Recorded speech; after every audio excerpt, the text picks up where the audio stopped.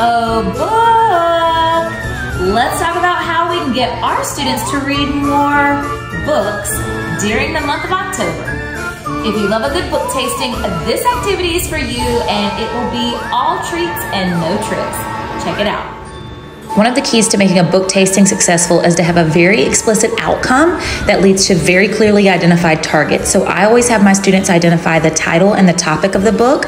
Then, especially if we are working with nonfiction, they will look through that book to identify an attention grabber, locate that section to find an interesting fact, and should be able to clearly define why they do or do not want to read the text.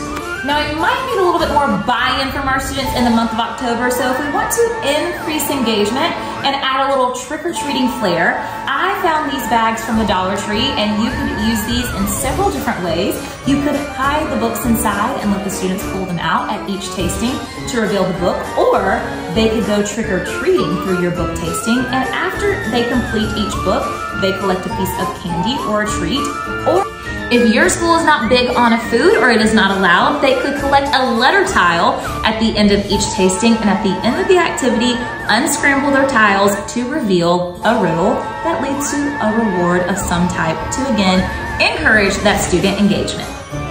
This activity will have your students going batty over books from cover to cover.